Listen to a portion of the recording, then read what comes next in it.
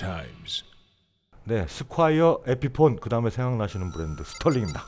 버즈비 TV의 고품격 악기 버라이어티 기어 타임스 지금 시작하겠습니다. 네, 오늘은 바로 스털링 바이 뮤직맨입니다. 엄청 오랜만이네요 이거. 이 스털링 바이 뮤직맨이 이제 우리 2012년에 했었대. 정말 옛날에 했더라고요. 저 진짜 깜짝 놀랐어요. 이게 2012년도에 그 이제 스털링 바이 뮤직맨 말고 뮤직맨의 아. 엑시스 모델을 했었고 야. 그리고 최근에 2019년에 엑시스 모델 한 번 더 하긴 했는데 했는데? 그건 이제 75대 한정판 모델. 아 엄청 비싼 거 네네네. 좋은 거였죠. 그래서 진짜 실제로 저희가 뭐 이 AX 엑시스 3FM은 지금 처음 하는 거고 네. 뭐 최근에 했었던 모델도 다 꽤 오래돼서 네. 굉장히 반가운 브랜드 네. 스털링 바이 뮤직맨을 가지고 나왔습니다. 자, 이거 한번 왜 이렇게? 오래됐지? 이거 참 좋은 기타인데요. 네. 자 볼게요. 뮤직맨 간단하게 한번 살펴보겠습니다. 자 펜더에서 근무하던 포레스트 화이트와 톰 워커가 벤처 회사인 트라이소닉스를 차렸습니다. 그게 어. 1971년도예요. 그 레오 펜더가 또 협조를 해줘요. 네. 그 앰프 제조를 필두로 기타 사업에 이제 박차를. 가게 되는데 레오 펜더가 트라이소닉스의 대표로 갑니다. 그리고 어, 레오 펜더가 운영하던 컨설팅 회사 CLF 리서치가 뮤직맨이라는 이름으로 악기 제조업에 뛰어들면서 음. 요게 이제 뮤직맨으로 통합이 되는 거예요. 그래서 CLF와 뮤직맨은 처음에는 이제 다른 길을 걸었어요. 어, 레오 펜더의 지휘 하- 하에서 기타와 베이스 제조에 집중을 했고 뮤직맨은 앰프와 기타 판매에 음. 집중을 했습니다. 이게 1979년에 레오와 G&L 레오가 이제 G&L로 G&L. 독립을 하게 돼요. 네. 네, 그래서 뮤직맨과 레오 펜더의 인연은 그걸로 막을 내렸지만 이 톰 워커의 뮤직맨은 그로버 잭슨과 손을 잡고 악기 제조에 열을 올리게 됩니다. 오. 그리고 1984년도에 어니볼이 톰 워커에게 뮤직맨의 상표권을 구입을 합니다. 어. 그래서 뮤직맨 제품의 디자인과 품질은 지속적으로 발전을 했고 그 어니볼에서 이제 나온 그것 때문에 이 뮤직맨의 우리가 custom shop이라고 얘기하는 건 볼 패밀리 리저브라고 얘기를 하는 거죠. 네, 그래서 이런 식으로 레오 펜더의 직원들이 나와갖고 레오 펜더만 함께 하다가 레오 펜더 다시 떠나고 막 어니볼과 합작하고 이러면서 막 우당탕 쿵탕 하면서 만들어진 브랜드인데 네. 지금 뭐 악기를 정말 잘 만드는 아유. 네, 가장 가장 뭐랄까 품질로서는 뛰어난 브랜드의 아유, 하나로 정평이. 나 있죠. 네. 네, 뮤직맨을 대표하는 기타로 단연 엑시스를 꼽을 수 있습니다. 엑시스는 지금 뭐 저희가 2012년도에 한 걸 굳이 뭐 리바이벌할 필요는 없어갖고 뭐 말씀을 안 드릴 건데 엑시스는 전 어렸을 때 저의 약간 좀 그 좀 dream 기타죠. dream 기타였었어요. 제가 어렸을 때 그걸 왜 좋아했냐면은 엑시스 슈퍼 스포츠라는 모델이 있거든요. 아유. 엑시스 슈퍼 스포츠를 보면은 이 톤 컨트롤이 따로 있고 예. 그리고 거기다 피에조 옵션 장착하고 맞아, 이러면은 맞아, 맞아. 그때 당시에 제가 제대했을 때 막 2007년, 6년, 7년 이때 그 엑시스 슈퍼 스포츠 풀 옵션을 가지고 있는 그 형이 있었는데 그게 거의 그때 당시 가격으로 400에 가까운 그렇죠. 가격이었으니까 정말 비싸고 좋은 기타였단 그 말이죠. 망치로 예, 진짜 부러웠어요. 예, 이거 부럽겠죠. 그렇습니다. 이 엑시스 clean tone은 블루스 컨트리 뭐 할 것 없이 다 잘 어울리고요. 그리고 drive tone, crunch부터 강력한 high gain까지. 아이, 그렇죠. 그래서 되게 범용성이 강하고 연주감이 편안한 그런 악기라고 보시면 되겠습니다. 이 엑시스는 그리고 또 그게 있어요. 컴팩트하잖아요. 네, 아주 조그매요. 작기 때문에 그 연주감이 편해서 네. 체구가 작으신 분들도 용이하게 사용할 수 있는 또 Music Man이라는 브랜드만의 가장 큰 장점이라고 음. 할 수가 있겠죠. 뭐 대표 연주자들이 에드워드 밴 헤일런 아니면 음, 뭐 존 우리 페트루치, 존 페트루치인데 네, 존 페트루치는. 이 큰 사람이 네, 그렇죠. 용- 요만한 용- 기타 가지고 하니까. 네, 네. 네. 그래서 뭐 JP 모델들도 보면은 다 좀 작잖아요. 딱 네. 작아요. 이거보다 더 작을 수도 있어요. 아주 academic하게 하는 음. 연주에 네. 좀 최적화된 그런 브랜드다 볼 수가 있겠습니다. 그 Music Man의 Axis를 가지고 내려온 게 이제 어, Sterling by Music Man이 아. 됩니다. 네. 그래서 이제 Sterling by Music Man에서 Axis 시리즈는 원래 AX 시리즈로 이제 나왔고요. 아 그렇죠. 예. 어, 그런 식으로 네, 이제 그 뭐 모델명을 이렇게 줄여가지고 예. 예. 그런 식으로 했었는데 지금은 이제 어 Axis SUB라고 이제 해가지고 네, 모델명? 네 SUB 시리즈. AX3FM 오늘은 이렇게 올라가 있습니다. flame maple top이 올라가 있어서 아이고, AX3FM이고요. 예전에 했었던 것 중에 AX 시리즈 그 차트가 남아 있는 걸 한번 복습을 해볼게요. AX3S가 43만 9천 원이었고요. gain 섞인 해골물 40만 원대 최강 gain 9.0, 아, 9.0. 그렇겠네요. 네. 네 그리고 AL40라는 게 있었는데 이거는 어 해골물 편의점에서 팝니다. 막 이제 그 해골물이 약간 그런 거였어요. 그러니까 그 원효대사 해골물 뭐 네. 이런 것처럼 그냥 모르고 치면 모르고 치면 그냥, 어, 그냥 Axis. 좋다, 네, 어, 네. Axis 같다, 막 네, 이러면서 AX, 예. 저가형에서 굉장히 표현을 잘해낸 또 기타 중에 하나죠. 선생님 말씀하셨던 것처럼 이제 뭐 Squier, Epiphone 예. 이런 브랜드들과 함께 가성비에 어, 상당히 일가견이 있는 모델이라고 보시면 되겠습니다. 어 이거 진짜 싸고 좋네요. 이거. 네, 최근에 썼던 75대 한정 은총 씨와 함께 했었던 거는요. 선생님 어, 회색 고추가 더 맵다. 은총 씨는 기타가 커서 부담스러웠던 분들 이 기타가 딱입니다. 예, 저는 그렇죠. 자, 어, 조그만해. 75분 좋으시겠습니다. 네. 이렇게 했고요. 이게 엑시스 BFR 스틸 블루라는 모델이었어요. 8.5, 8.0, 8.0 이렇게 오. 점수를 받았습니다. 자, 그러면 바로 오늘 기타 X AX3 FM 스펙 살펴볼게요. 67만 9천 원이고요. made in Indonesia. 전장은 93cm, 무게는 3.41kg, 두께는 45mm, 12fret 뒷둘레는 77mm입니다. flame maple veneer top이 올라가 있고요. poplar body예요. poplar body. hard maple neck에 die-cast head machine nut 너비 42mm고요. hard maple 지판이 예, 올라가, 올라가. 있습니다. 지판 곡률 지름은 12인치 305mm고요. 스케일 길이는 25.5인치 648mm입니다. 22 narrow fret이고요. 픽업은 험버커 험험 원볼륨 원톤 5A 픽업 셀렉터인데 여기 독특합니다. 1단이 bridge humbucker, 2단이 inner side 네. 양쪽 건데. 먹습니다. 하얀 것만 3단은 쌍hum이겠고요. 4단은 neck humbucker인데 완전히 humbucker가 다 먹는 게 아니고 coil tap으로 힘이 빠져서, 먹습니다. 네. 이게 coil split이라고 스펙에 나와 있는 데가 있는데 저희가 쳐본 결과 아, 둘 네. 다 네. 구동이 되고 힘만 빠지니까 coil tap으로 보는 게 맞을 예. 것 같아요. 그리고 5단은 neck humbucker입니다. 예. 자 이렇게 어, bridge는 어, fulcrum tremolo가 예, 요거. 장착이 되어 있고요. 색상은 trans gold, Neptune blue 중에 trans gold 색상입니다. 사운드 들어볼게요. 어, 우렁차죠 이거 엄청.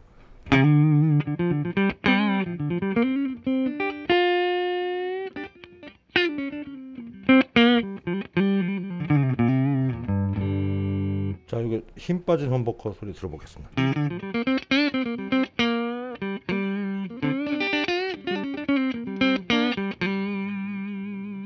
쌍엄.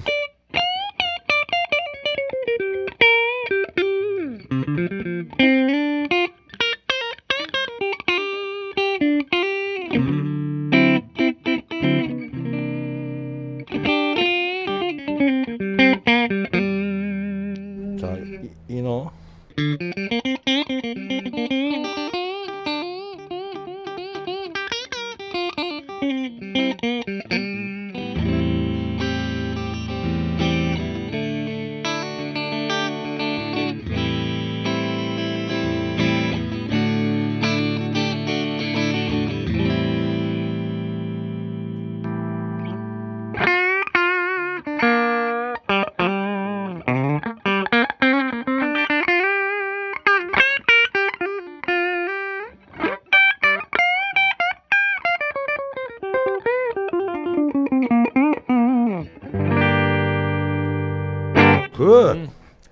마샬로 잽싸게 복습해 보겠습니다.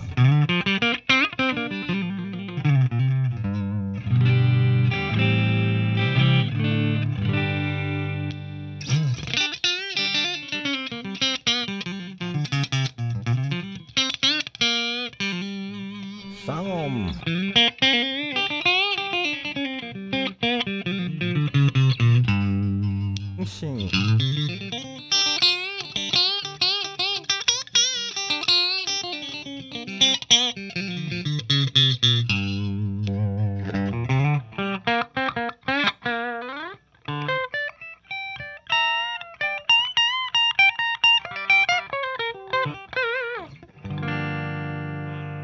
어, 이 기타 잘 만들었는데요? 좋습니다. 아, 좋네요.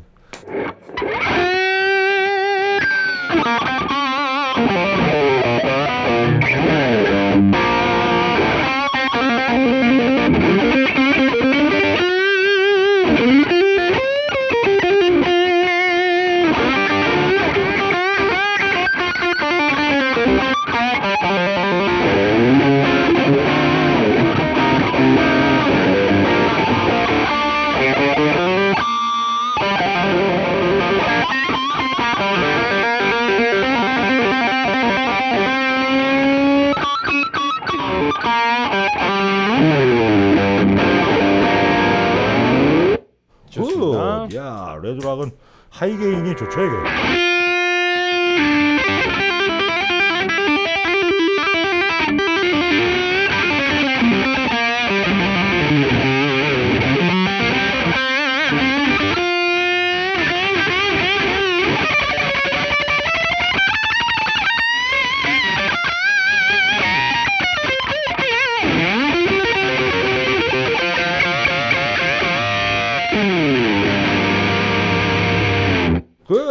굿. 좋습니다. 야, 오랜만에 마샬 게임도 한번 들어보죠. 마샬 게임 8입니다. 아,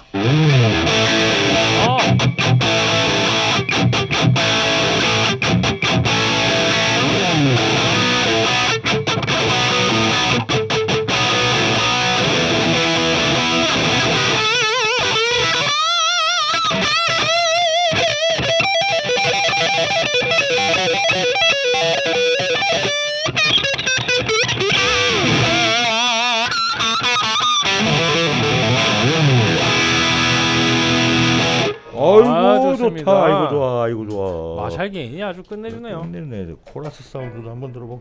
자, 쌍엄에다 넣고.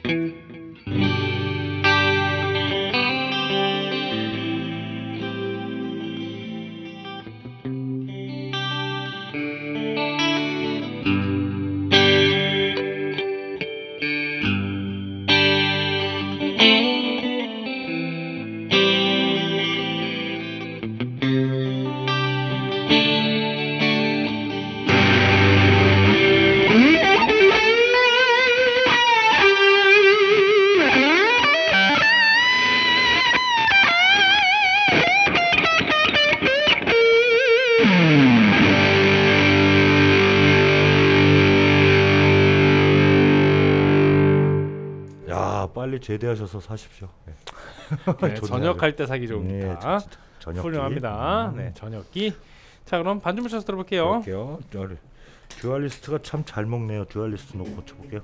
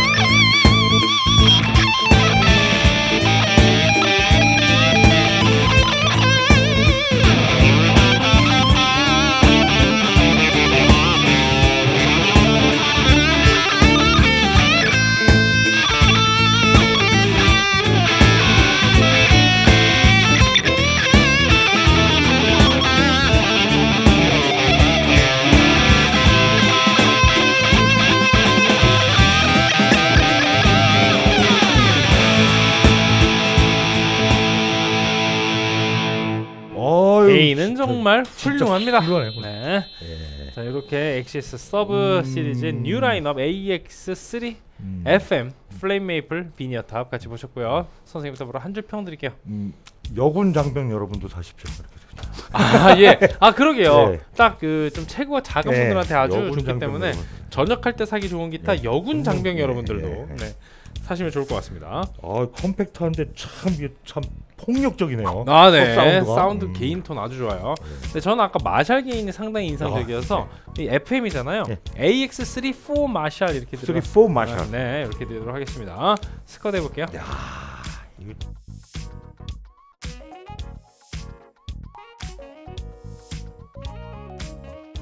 스쿼드 발표하겠습니다. 아. 선생님 사운드 25, 가성비 18, 편의성 17, 디자인 17, 총점 77 나왔고요. 저는 사운드 24, 가성비 18, 편의성 16, 디자인 17, 총점은 75점, 평균 점수 76점 나왔습니다. 6, 어. 7, 7만 원대에서 거의 만점 아닌가요? 네, 정도면? 그렇죠. 만점이? 상당히 높죠. 네. 뭐 사운드는 뭐 그 가격대에선 정말 잘 나온 거고요. 네. 나머지 CUD가 전부 다 준수합니다. 가성비, 편의성, 18, 뭐 디자인 뭐 17. 전부 다 아주 훌륭하게 나왔어요. 그 요, 요런 기타를 사시면 딱 돼요. 그렇죠. 그 평균 점수가 높고. 초보자들에게 추천해주기 가장 좋은 아, 기타. 진짜 좋네. 좋습니다. 자 이렇게 그때도 저희가 말씀드렸던 것처럼 25, 15, 15, 15를 넘으면서 75점에 가까운 기타면 진짜 좋은 기타다. 네, 이렇게 말씀드릴 수가 있을 것 같습니다. 자 이렇게 AX3 FM 모델 살펴보셨고 요. 다음 시간부터는 요즘 가장 핫한 브랜드. 미친 가성비를 보여주고 있는 브랜드. 뭐 가성비를 뭐 우리가 내쉬가 잘해서 올라간 건 아니고. 그렇죠. 다른 애들이 못해서 네, 그 어부지리로 다른 애들이 하도 올리는 바람에 가만히 있었는데 후광 효과를 본 브랜드 요즘 가장 점수를 잘 받고 있는 Nash의 S57 extra heavy aged 그리고 그 다음 시간에 S67 heavy aged 네, 둘 다 heavy기 때문에 프로파일링과 함께 찾아오도록 하겠습니다. 채널 고정해주시고 유튜브 구독과 좋아요는 저에게 큰 힘이 됩니다. Gear Gear Times. Times